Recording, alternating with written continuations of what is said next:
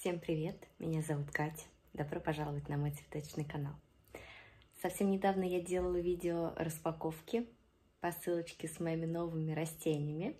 Сегодня я вам тоже расскажу про новинки, но те растения включать не буду.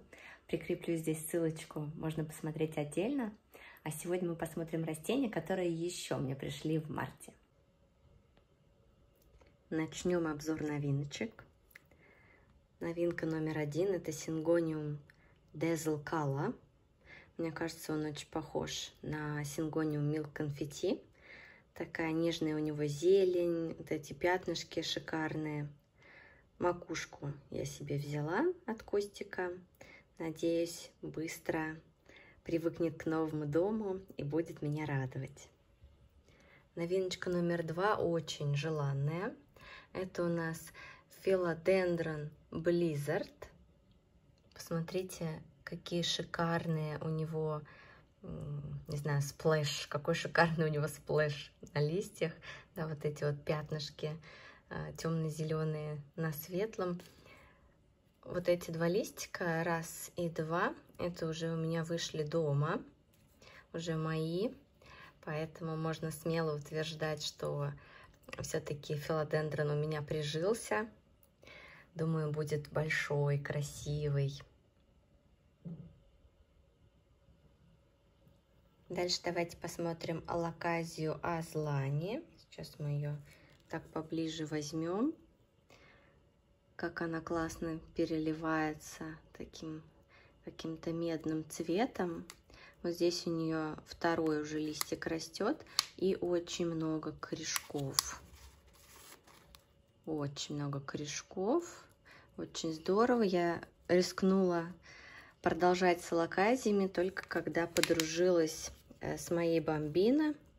Вначале у нас с ней никак не клеилась. Вот теперь могу дальше экспериментировать с этим видом. Теперь не страшно. А, еще у меня эпипремнум. Он обычный золотистый, я его купила с названием Хиколор, но это тот же самый сорт. Мне кажется, он немножко подмерз, когда был на доставке, поэтому я его черенканула и отдельно выращиваю чтобы не потерять этот сорт. Мне хочется его тоже выращивать на тотеме, как я выращиваю свой Marble Queen, чтобы тоже были огромные-огромные листья. Но для этого, конечно, этому малышу надо немножко подрасти. Потом можно будет его сажать на тотем. Следующая новинка, думаю, можно ее считать тоже, это манго. Я прорастила его из косточки. Если вам будет интересно, расскажу, как я это сделала. Вот такой вот милый кустик получается. Еще у меня тут сингониум Imperial White. А, вот этот был листик, с которым я его купила. Немного, да, тут белого. И первый домашний листик вышел полностью зеленый. Но я надеюсь, что новенький листик, который пойдет, что он все-таки будет немножко с белыми пятнышками. Ну, посмотрим. Все возможно. Следующие новиночки давайте посмотрим на белом фоне. Надеюсь, будет виднее. Это у меня филодендрон мамей. Очень травмированный пришел после пересылки. Но некоторые листики уже у хозяйки были рваные. Видимо, когда выходили новые листики, не, неправильно раскрылись. Поэтому многие тут с дырочками. Но ничего, вот первый домашний листик выходит. Я надеюсь, что будет уже хороший, красивый. И мне надо будет подумать, что с ним делать, как его правильно посадить.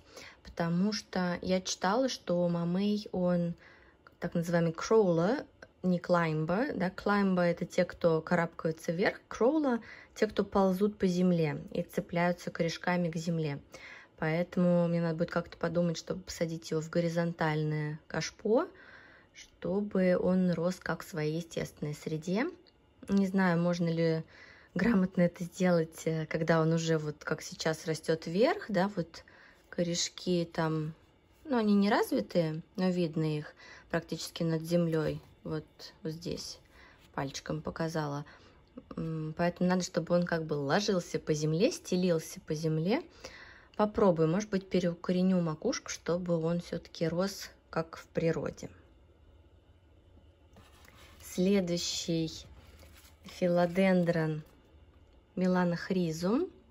Он как раз из той серии, о которой я мечтала. Я думала, я куплю какой-нибудь эм, Splendid, не знаю, какой-то еще, потому что я почему-то думала, что меланхризум тяжеловат в выращивании. Не знаю, посмотрим. Вот тоже от хозяина он мне пришел с такими пятнышками от ухода, да, ну или, может быть, от э, каких-то физических повреждений.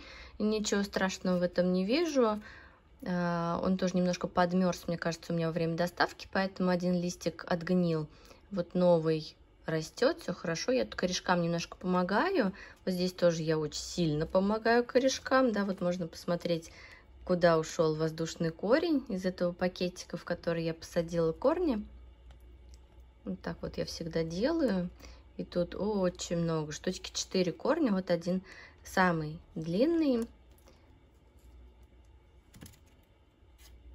В земле, тут в грунте тоже корни хорошие. Просто я хочу посадить на тотем, поэтому мне важно, чтобы по максимуму корешки развелись. Поэтому и сейчас тоже я вот тут помогаю. Чуть еще немножко окрепнет, я его поставлю на тотем. Еще одна милая новиночка. Это сингониум яичница. Посмотрите, какая классная расцветочка. такие шикарные желтые пятна. Я думаю, что он потом будет более яркий. Насколько я понимаю, сначала он выходит в оттенках зеленого, а потом вот эти самые светлые пятнышки, они желтеют. Тут много корешков. Сейчас найдем с вами. Вот какие сочные, да, шикарные корни, конечно. Будем растить вот такое солнышко на полочке. Еще мне хотелось кобру. Заказала. Тоже, мне кажется, подмерзла немножко она у меня при доставке, поэтому я ее хорошенечко так подстригла. Пытаюсь все узелочки переукоренить. И вот от нижней части пошли вот такие вот стрелочки, новые росточки. Поэтому явно растение такое у меня будет. Все хорошо. Но пока вид такой нелицеприятный. Ну и еще две последние новиночки. Такие не очень чистые стаканчики с мхом. Прошу прощения. Вот здесь проращивается клубенечек алаказии фрайдек варигатный.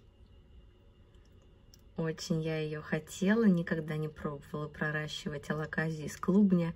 Мой первый опыт, по-моему, успешный. Сидит у меня в тепличке, в стаканчике под крышечкой на коврике на теплом и с досветкой.